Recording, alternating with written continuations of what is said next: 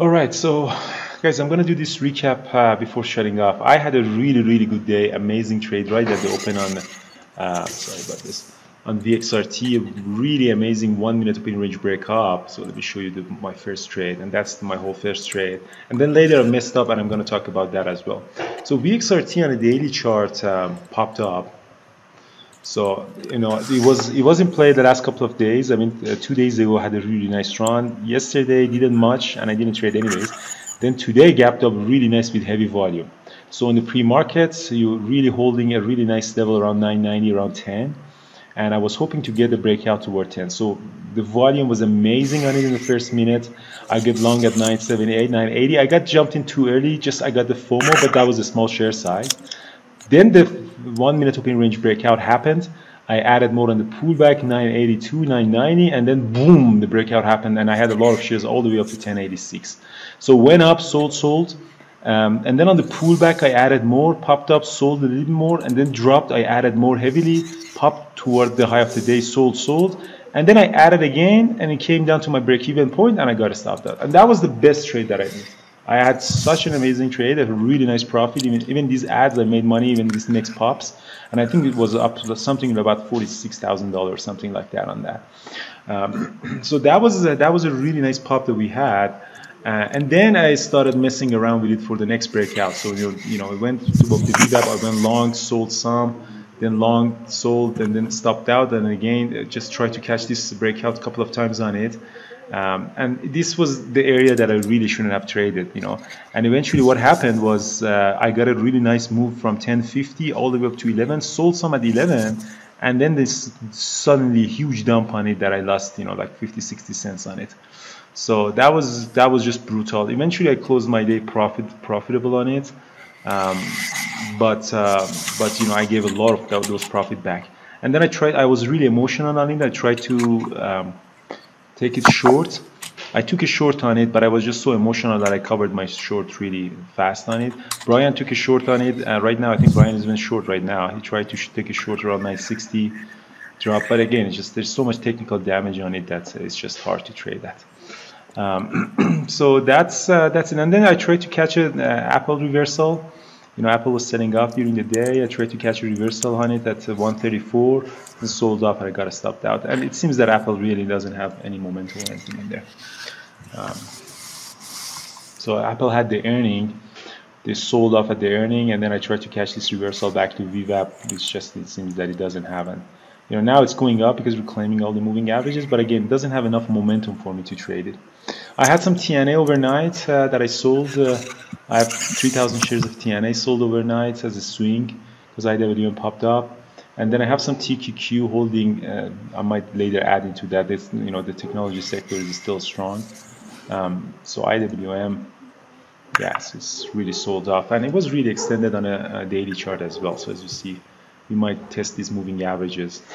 So generally overall it was a good day. Again it's just this over trading that I did really really messed my day on uh, on VXRT and it really yeah really really disappointing the way that uh, I traded at the open. It's just so much just mess. So that's it guys for me. Brian uh, I know you traded eBay at the open. Really nice uh, short eBay. Yeah yeah, yeah shorted, shorted it twice, twice. yeah it's a really nice move on it so yeah, eBay. That was, that was uh, uh, one, one trade. trade. Yeah. yeah. One yeah, trade that I did that you didn't do. And then you again traded it uh, for the break of low of the day. I think I, I want to just. Uh, mm-hmm. Yeah, yeah, it dropped, dropped and then, and then popped back, back up to the VWAP. I really should have reshorted it there, but I just uh, uh, caught a late short on the second flush down. Yeah, so eBay is really weak uh, on a daily chart, and you know, gap down 11% for a reason. So it's really hard just catching these reversals on it. So um, Brian traded, you know, shorted one here and then another here at around 56.24. I was just busy trading, over trading VXRT at this time of the day. I didn't touch anything else, unfortunately, but uh, that would have been a really nice, uh, really nice opening range breakdown too as well. Stock was big. So um, yeah, that was it. So guys, if you like this uh, recap, uh, we appreciate a like, subscribe, or a comment. If you have any question, comment on it. Um, if you have any um, anything, uh, definitely uh, I tomorrow I won't be able to trade, and I'll see you next week. Tomorrow, uh, Thor is gonna trade with uh, Brian at the Open. He's an amazing trader, and both of them, I think, we're gonna be a really good time. And yeah, so it seems that the market has the weakness. IWM is going red. It was up in the pre-market. That's why I, that's why when, when I sold my TNA position, so I was up, uh, you know, in the pre-market. I kind of knew that uh, the TNA is done. So Mm. That's why I sold my position here, as you see, uh, in the pre-market. Anything else? Any question? The, the peak capital, guys, the boot camp that we have is more focused for uh, mentorship. You know, you have private sessions with your team captain, and then we have a group mentorship session. We don't want a lot of people in there.